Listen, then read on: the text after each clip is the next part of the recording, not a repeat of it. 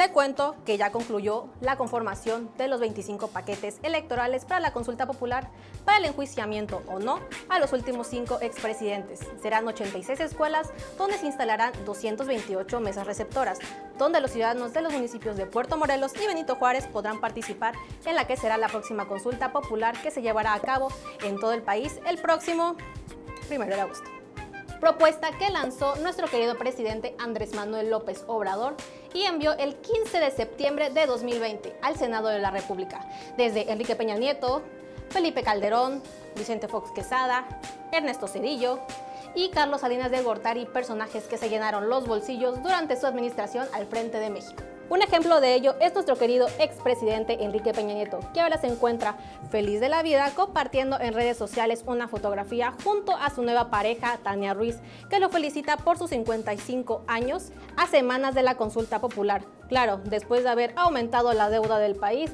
y haber gastado 1.823.000 millones de pesos adicionales a lo que originalmente estaba previsto en su administración. ¿Y qué decir de los demás expresidentes? Un cuento que ya no sabemos.